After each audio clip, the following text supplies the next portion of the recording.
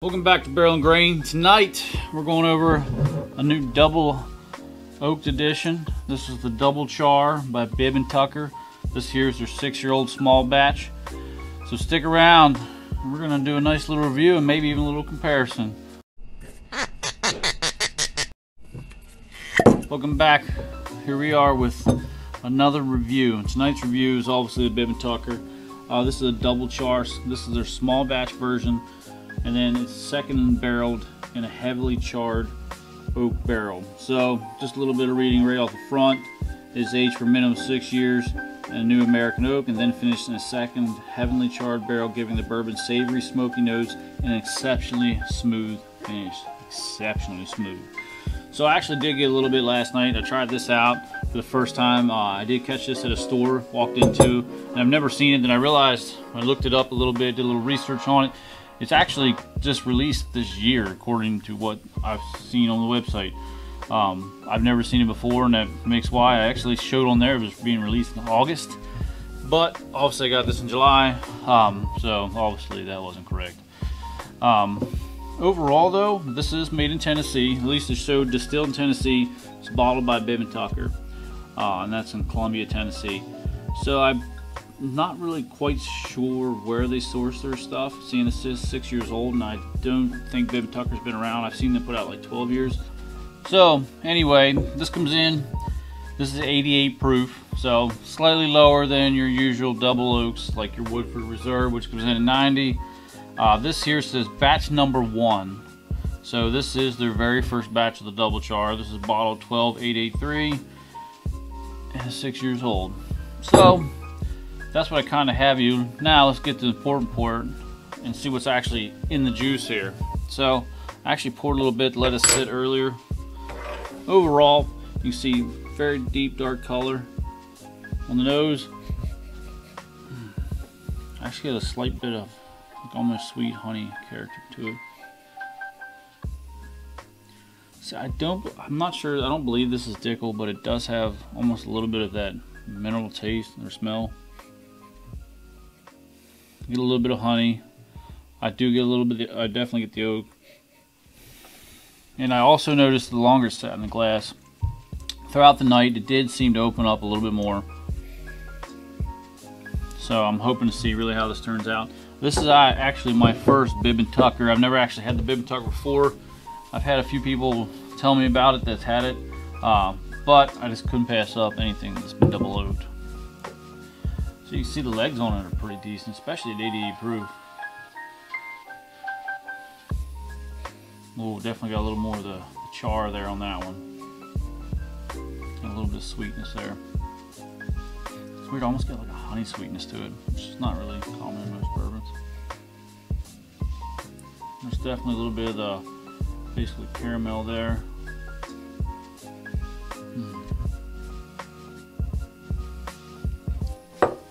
Overall, very sweet smelling. In the back, you definitely get the, the char note for sure. All right, so let's taste this out. So this is my first taste of the day. Let's see how this goes.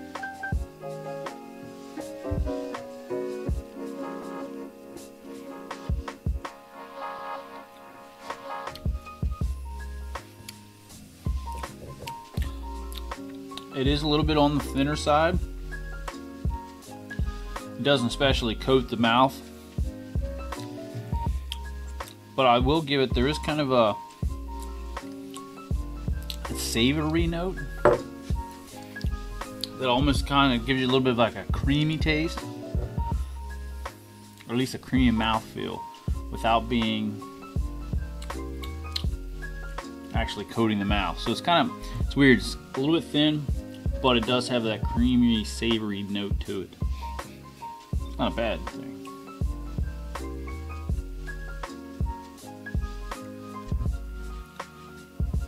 Hmm. A little better that time. So on that note, I definitely had the char come in. There's definitely the oak, the caramels there. There is a little bit of I don't want to say grainy. I want to say it's more of like almost, you do get a little bit of like a mineral note. But overall, I think this is actually pretty decent. I think I paid 54 for this.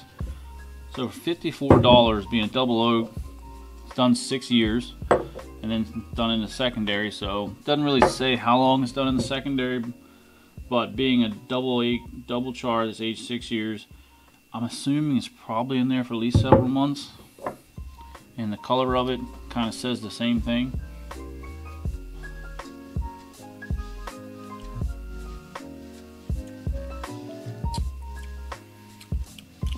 So there's a little bit of fruit note there.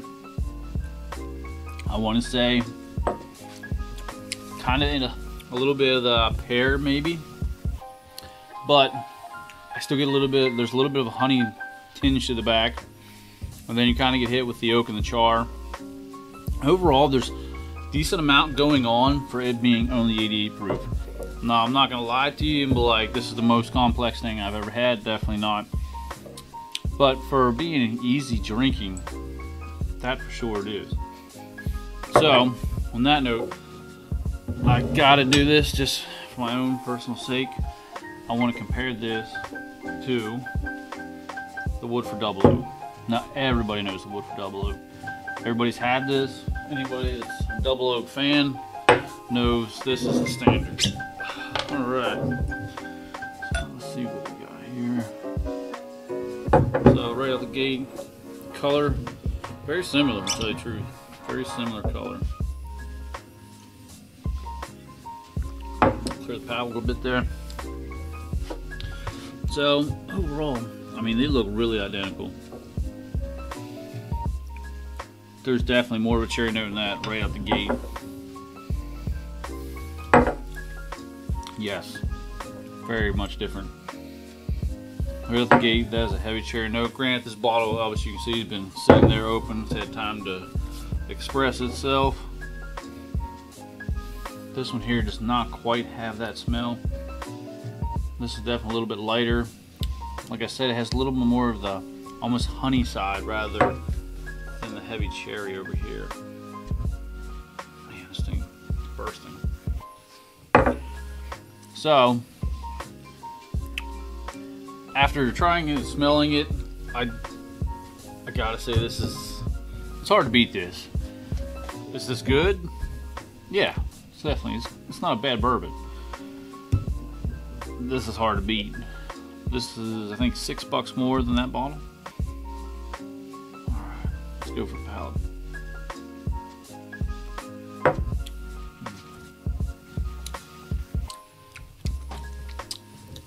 heavy secondary bottle, secondary barrel, sorry. And I definitely get more of a cherry note on this. I get a heavy cherry on this. I get the secondary barrel. I'm gonna go back to this, which I hope still holds up.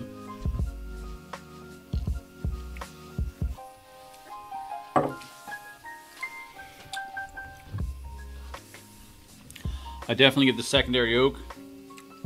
I still get a little bit of honey. The caramel is very light. And I definitely still feel like I get a little bit of a mineral taste. I don't know if it's, I don't know where this is sourced from. That's my biggest thing. If it was Dickel, I can understand. It is what it is. I'm not a Dickel hater. I'm not saying it's the greatest thing. Um, but it is what it is, and that's just the bourbon they produce.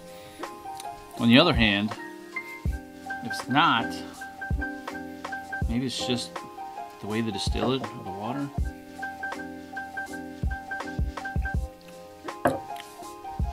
I really want to like this bottle. I mean, it's a cool looking bottle. The double char. The one big thing I do notice compared to this is the legs on this, the viscosity. The legs seem to drip a lot more than they do in the Woodford Reserve.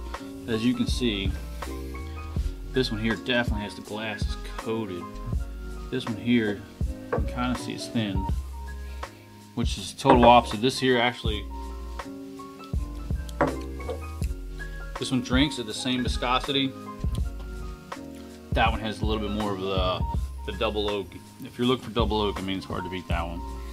This one here, if you're double oak fan, I would definitely recommend it because it's double oak. And overall, it's pretty good for the price.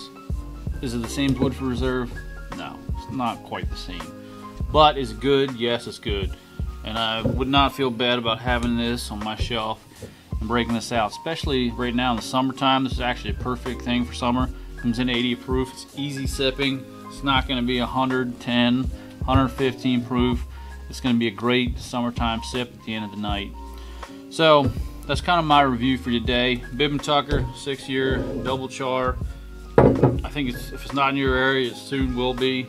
Um, comes in right around that 50 to $55 mark. Compared double oak, it's a wrap. So, thanks for stopping in. Uh, like, comment, subscribe. I would like to hear your comments. If you get to see this or try this, I'd gladly like to hear what you say about this.